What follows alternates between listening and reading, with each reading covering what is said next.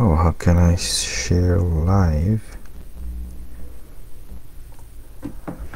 Okay so um, dear friends whoever watching this video or whoever will watch this video um, just want to share a few words about uh, demographical or geographical location of where Chakma people live so uh, as you see in this description that I mentioned uh, Chakma people live uh, in three countries which are this is India Bangladesh and Myanmar.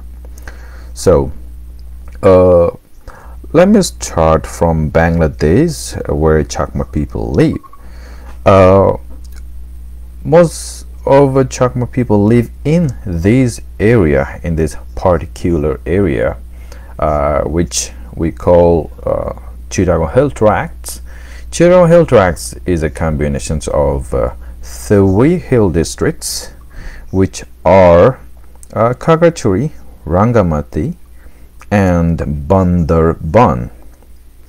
And Bandarban. So this area is the Bandarban. So these parts uh, like uh, where most of Buddhist people live in Bangladesh. And before like let me just take you back to the uh, historical records.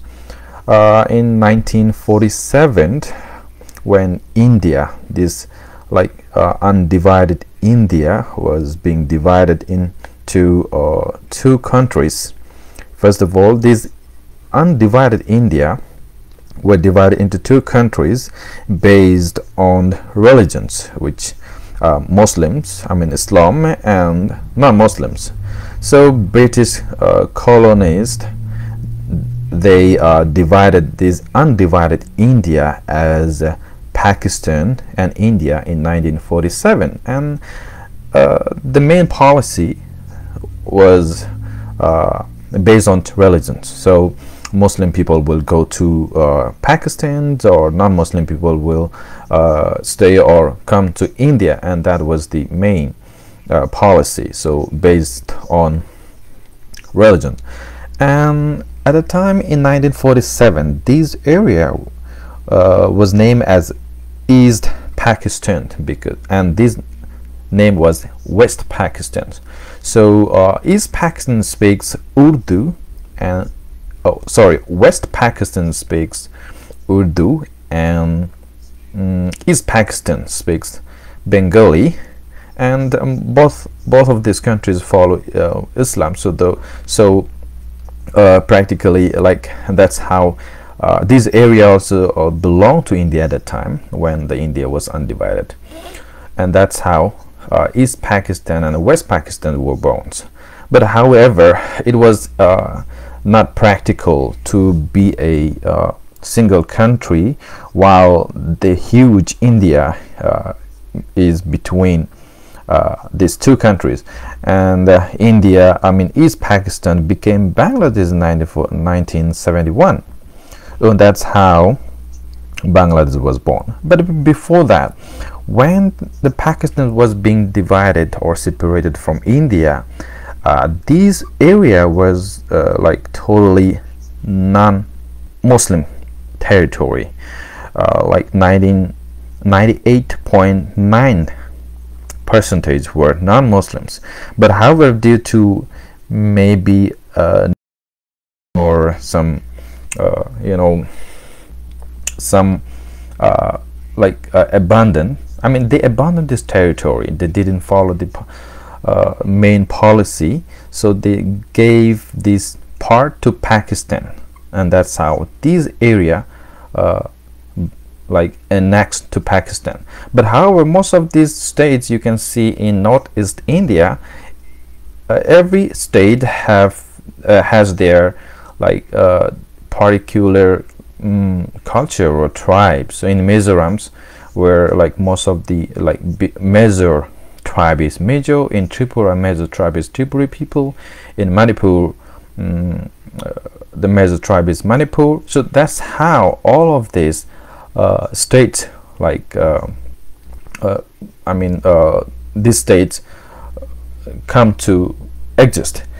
And came to exist. And this part was supposed to be another state just like this but it didn't.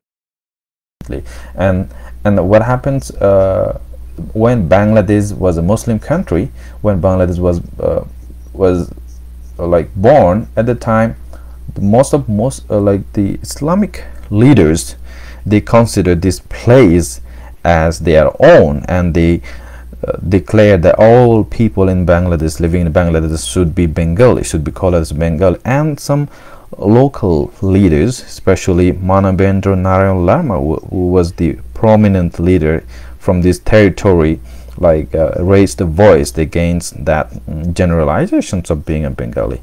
And that's how uh, Bangladesh I mean there's some conflict uh, began between Bangladesh government and the local leaders from this place. Anyway in 1964 even before Bangladesh was born uh, the the American government there is an American company uh, who planned to build uh, a, a, a dam here.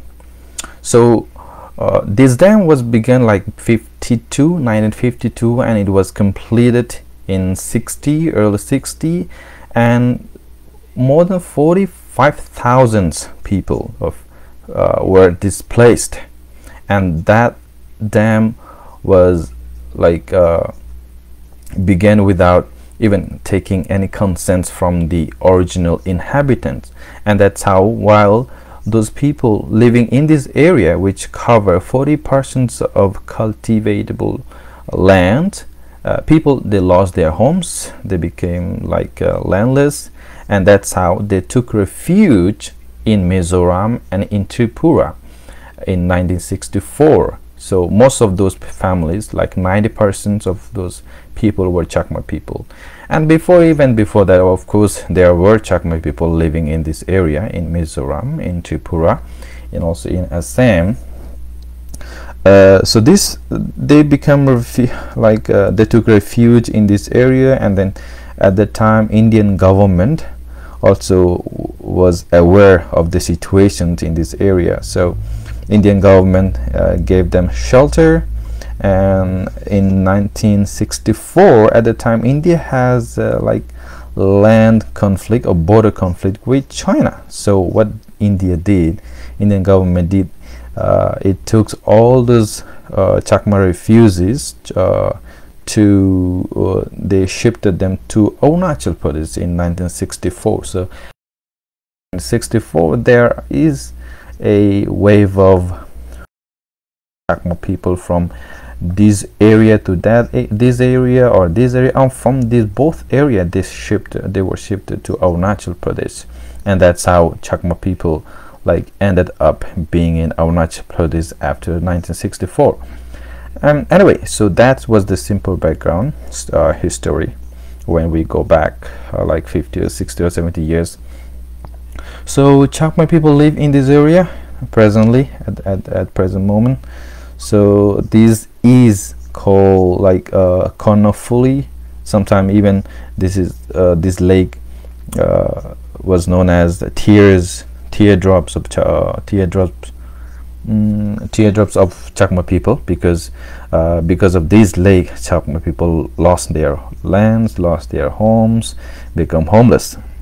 So now Chakma people live in this area in this this in this area. This is very hilly area and that is why this um, in the time of British colonization this area was known as um, Chittagong Hill Tracts because this is very hilly area.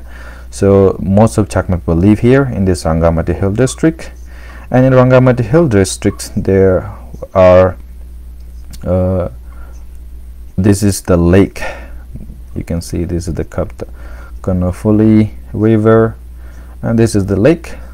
So here Chakma people live in Bangladesh and also here in uh, in Thanchi in Ruma and also in Rangamati in Kagachur. And you can see this is the border international border between India and Bangladesh. So so before uh, like all these countries were uh, come to exist these were the places actually most of the tribal people used to live. Not only the Chakma people but there were many other tribes they live here. So this area is very much different than the main part of Bangladesh. But let me tell you before uh, like there are uh, even this area actually this area when Bangladesh didn't exist but only India. So this area was controlled by Tripura kings the Tripuri kings this area. But however the Tripura uh, kingdoms was uh, like shrank to the present state. So okay so this is the place where Chakma people live in Bangladesh Chadigan hill tracts and again this is the Myanmar. And Chakma people there are about uh, like 100,000 Chakma people population in, in in, in Myanmar. So Chakma people live in this area.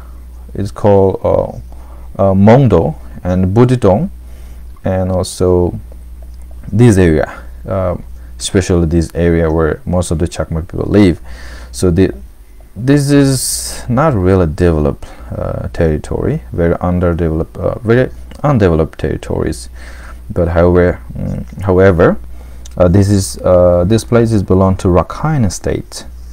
So this is the Rakhine state and Chakma people live in this area Butidong Mongdo most of people go back to India where do Chakma people live in India okay so in Mizoram Mizoram the state of northeast India Uh, okay, I will check. I got a comment from Torin Changma. Can you see total Chakma demography all over the world? I think I have mentioned in the descriptions there is about uh, okay in maybe in Chira Hill tracks might be over 400,000 Chakma people or maybe 500 uh, 500,000 Chakma people. So 5 lakh in Bangladesh at present. So 1 lakh or 100,000 in Myanmar. And in Mizoram so there could be almost 100,000 uh, Chakma people. So in Mizoram Chakma people live uh, especially in this area uh, this like border area almost this border area uh, the border area this place so most of these territories like inhabited by Chakma people and there are some Lai, Mara, uh, the tribes there, the living there. So this area where the Chakma people live, and Chakma CADC, which is the only uh, administrative territory of Chakma people, or Chakma Autonomous District Council, we call. That was that uh, that is mm, that is uh, located here. So you can see there are a Buddhist temple. Wherever Chakma people live uh, you can see there are of course some Buddhist uh, monasteries. Not only in in India but also you can see those uh, Buddhist symbol that uh, Dharma wheel symbol in in India in Bangladesh too you can see but I think most of Buddhist temples are not uh, reported in Google Map.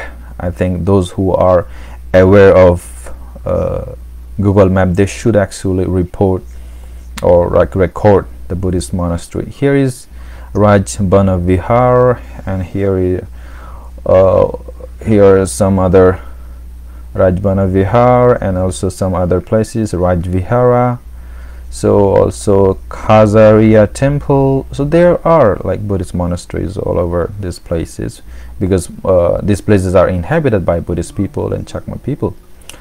So anyway let's go back to India. So here Chakma people live in this place uh, is Marpara, Nunsuri, Lunglei and there are some other places. Uh, Chongte or sometimes it's called Kamala by Chakma people. And upper part. Yeah this is the upper part. Uh, good morning from yeah okay so upper parts of the Myanmar this is the upper parts anyway I'm just trying to show uh, the the, uh, the geographical location of Chakma people. So here this part in in, in Myanmar Chakma people live. Over maybe 100,000 Chakma people in Myanmar.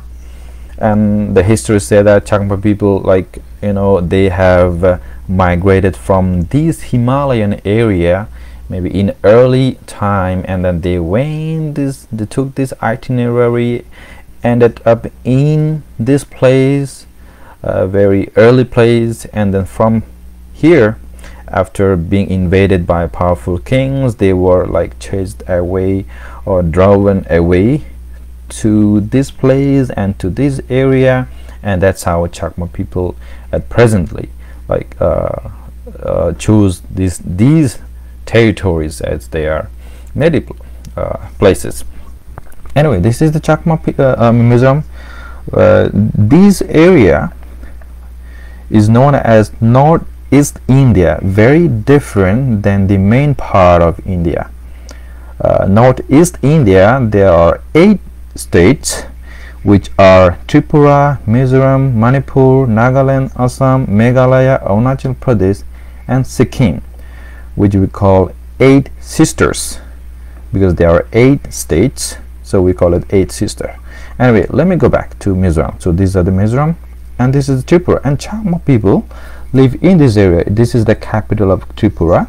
And this area most of these area are inhabited by Chakma people. You can see when you zoom in you can see there are um, uh, Buddhist monasteries Buddhist uh, Buddhist temple here. You can see Pancharatan Janakalyan Buddha Vihar and also Tu Chakma Maitri Bana Vihar.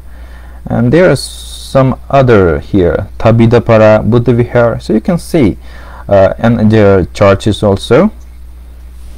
Mm, so these are Dumbur Lake. This is Dumbur Lake. Oh most of my childhood memories are actually embedded in this area in this Dumbur lake. Anyway so here uh, this this this is in India in Bangladesh.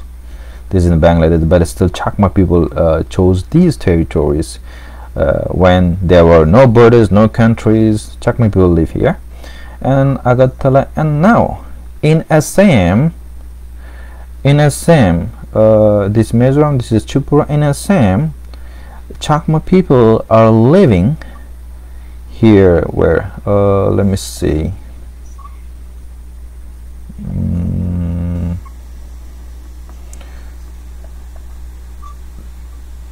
this is Manipur oh this is Nagaland here. Chakma people live here. This area where is Diphu okay this area. In Assam Chakma people are living in this area. So uh, so so this is a Karbi Anglong, Lumding, so these are the area and uh, the Bodhicharya, Bodhicharya English schools is located in this area. Let me turn on the satellites. Uh, okay, here I have actually noted these places. This is the uh, this is the locations of uh, Bodhicharya English School Bodhicharya English School here. Uh, this should be actually Bodhi Pragya, but there is some mistake, spelling mistake. Anyway, I tried to fix this spelling, but I think uh, Google is still reviewing my edit, uh, my now my edits. So these are the places. These are the villages. So uh, village children uh, come to this temple, to this school to get education and this this is the only route to be connected with other major cities. And these are the main cities actually. And yeah. So Chakma people live here in Assam. And also of course they live in Guwahati too. Guwahati is here. Uh, Dimapur and Guwahati is here. Guwahati is here. So Guwahati is known as the gateway of northeast India because wherever you go if you want to visit to Nagaland, Manipur, Tripura or Arunachal Pradesh uh, first you should come here. Or otherwise if you choose flight you can fly from uh, Kolkata to uh, directly to Aizawl there are some flights. So Assam and Chakma people in Arunachal Pradesh. So in Arunachal Pradesh Chakma people live here. Mm, Tinsukia and uh, Pasighat okay. Here. This is the main uh, main area where Chakma people live. The Dayun, Bordumsa, Namsai and when you zoom in Dayun area you can see there are some Buddhist temples of course. Buddhist temples. Uh, yeah most of the time you can see uh, like churches too because uh, Arunachal Pradesh and Nagaland and Manipur most of uh, tribe they follow Christianity.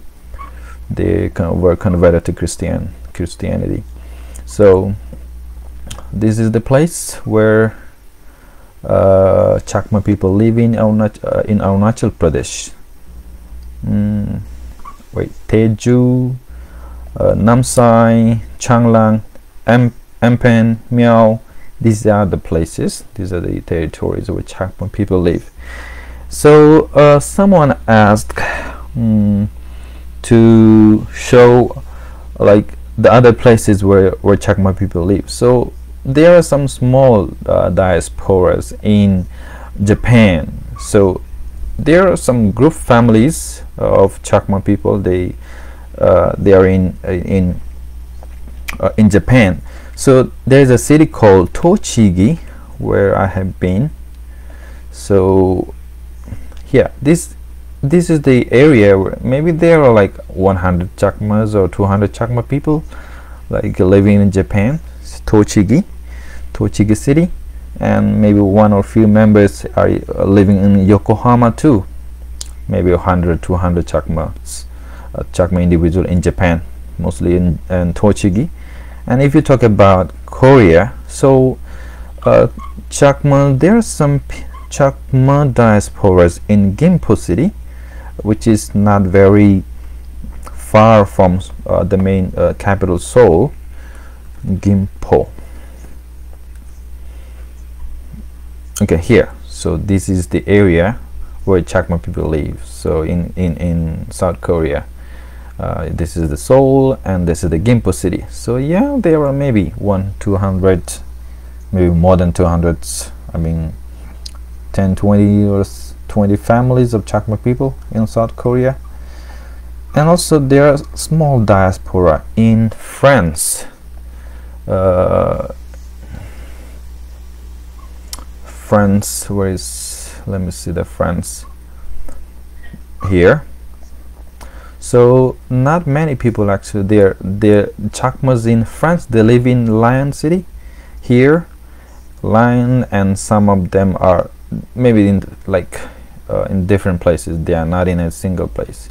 So most some Chakmas are living in Lyon cities some are nearby the Paris.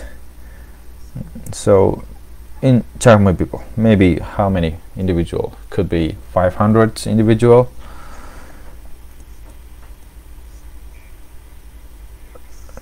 and if you talk about US where do you, where the Chakma people live in US here uh, well, most of the Chakma people, there about 40 to 50 Chakma families are living in California, and almost 90, 80 to 90 uh, percent of Chakma people living in this area. Where is San Bernardino County? San Bernardino. Here, so this is the area where Chakma people live so San Bernardino County uh, this is the California state and this is Los Angeles and Chakma people living in this area mm. uh, let me see Helen Moreno Valley Riverside Jurupa Valley uh, Highland Loma Linda. Okay here. So most of American Chakma people living in this area Loma Linda, Redland, Highland and these are the places actually. Highland, Loma Linda, Redland and Colton. These are the uh, locations where Chakma people live. I'm not aware about the Australia. There are also there are some like small diaspora Chakma diasporas in Australia but I'm not sure where they live. Most of Chakma people I think they live in uh, Adelaide where is uh, where's Adelaide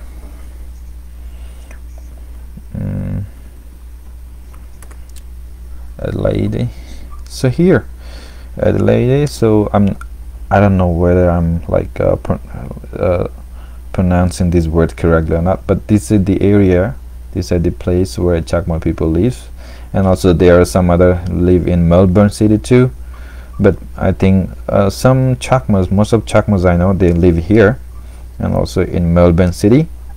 So uh, so this is the main geographical location for Chakma people. This state this little state you can see uh, Hill Tracts here. Not not Chittagong or Chattogram but this area especially this area. Chittagong Hill Tracts Mizoram's Rakhine State uh, Mungdo Budidong this area. Tripura Tripura mainly in this Gandachara Ambassa Monu Kumarghat Dharmanagar or like uh, Choilengta hmm? so these are the areas where Chakma people live in, in Tripura. And in Assam they live in Diphu, Karbi Anglong, Lumding. And there are some other Chakmas living in Dibrugarh. And in Arunachal Pradesh they live here uh, Dayun city. So maybe very small towns. So Dayun city Chokam Chokam and Latau they there are some other Buddhist people too in in Arunachal Pradesh mostly like uh, Khamti, Singpho those are the Theravada Buddhist people. And if we talk about the Tibetan Buddhist people the Monpa Monpa uh, Monpa follow Tibetan traditions and Tawang Monastery in Arunachal Pradesh is the most famous um, foremost monastery in India. So this is very huge huge monastery. And it said that fifth Dalai Lama was born here uh, in this area. Chinese China border is actually uh, here. This is the China the Chinese border. And Tawang monastery is here. And Monpa people live here. Tibetan uh, Tibetan tradition they follow Tibetan Buddhist Buddhism. And if somebody wish to visit this area one one can start from actually Guwahati. So you arrive here maybe spend one day or two days and then go to Tezpur, Jorhat, Dibrugarh you can cover this area. Uh, maybe it depends on how many days you want to spend in the uh, on your I mean how many days you can you include in your itinerary. So Assam mm, I think especially some people who only visit Bihar or Bodh Gaya they should also visit this area to explore more diverse culture diverse people languages. You know the India has nearly 800 languages. So in this area even though uh, this in Tripura if you move from one village to another village so they speak they speak different language they have different culture. But of course uh, Bengali Hindi English Bengali Tripura Bengali is more is the most dominant language in Mizoram English or Mizo language in Manipur um, Manipuri and in Meghalaya uh, English or Khasi or Hindi all the languages are used in Assamese. Assamese is kind of lingua franca in this northeast India. So if you understand Bengali and Assamese uh, it's very intelligible um, very uh, you can communicate with uh, with other tribes. Uh, if you take talk about Arunachal Pradesh there are actually over hundreds tribes. They have different languages different culture. So uh, the lang there's no language barrier but yeah if you go deep inside those remote villages maybe some uh, older elder generation they don't speak Hindi or English. Maybe they speak only their native language. But it's but of course young people or like those who uh, who are studying outside of their state they speak Hindi they speak English. But in Assam of course you can use Hindi or you can use Assamese. In Nagaland mostly they speak Nagamese even though it's very much same to Assamese. So Chakma language is very uh, Chakma people they are very multilingual. They speak Hindi they speak English they speak Assamese uh, no matter wherever you are if Chakma uh, Chakma live in Mizoram he will still understand and communicate in Assamese language. So uh, if you speak Assamese language you can communicate with any other uh, any other like tribes. In Arunachal Pradesh mostly they speak Hindi so that's how they communicate with other different tribes uh, here. So I guess some people who are mm, watching this video they have a basic understanding about demographical uh, locations of Chakma people. So Chakma live in this area Mizoram, Tripura, Chittagong Hill Tracts, Rakhine State, Assam and Arunachal Pradesh. So that's why if uh, maybe there are some others uh, you if you meet some some Chakmas they will tell you they are from India they will tell you from uh, from maybe Bangladesh or even from Myanmar. But Chakmas in Myanmar they are they are like uh, using uh, maybe Rakhine names because you know they have been uh, secluded for a long time. But now Chakmas from India and Chittagong Hill Tracts visit them and then they are now trying to revive their lost language lost Chakma language lost Chakma culture so here anyway uh, let me see what people are commenting mm. oh anyway so if you talk about populations so here before I said around 400 to 500 Chakma population in Chittagong Hill Tracts 100,000 Chakmas in Mizoram 100,000 in Myanmar and same amount 100 uh, 60 to 70,000 Chakmas live in Tripura and 30 to 40,000 Chakmas live in, Arunach uh, in Assam.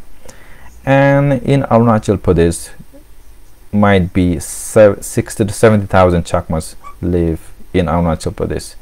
And the difference between Chakmas in Arunachal Pradesh and other states is Chakmas are still like fighting to claim their basic rights like they don't get uh, even though they were settled in 64 but still they're struggling to get their um, basic uh, document rights like uh, birth certificates ration cards voter cards uh, permanent residence.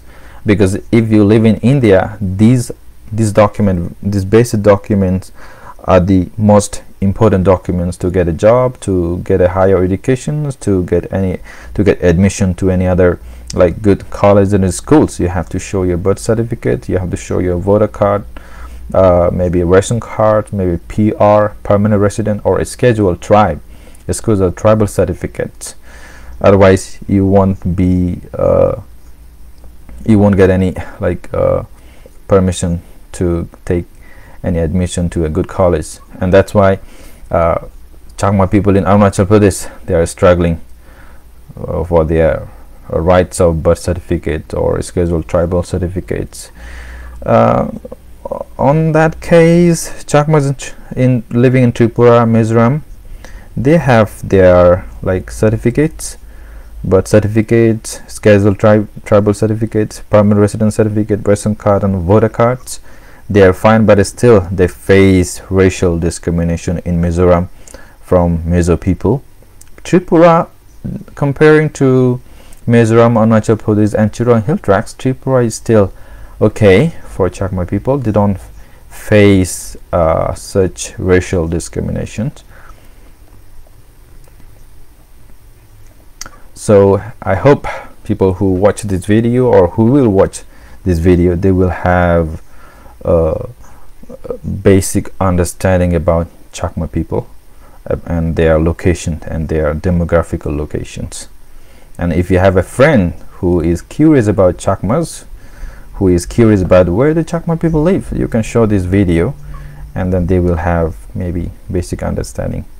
So thank you again. I will uh, maybe reply or answer some people's questions later.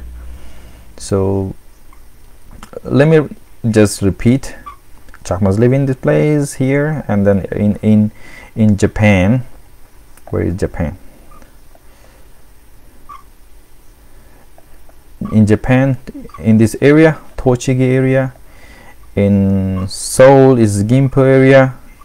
In France very small diaspora not very uh, big numbers big populations. And in France it's uh, is Lyon here is Lyon Lyon and nearby the Paris.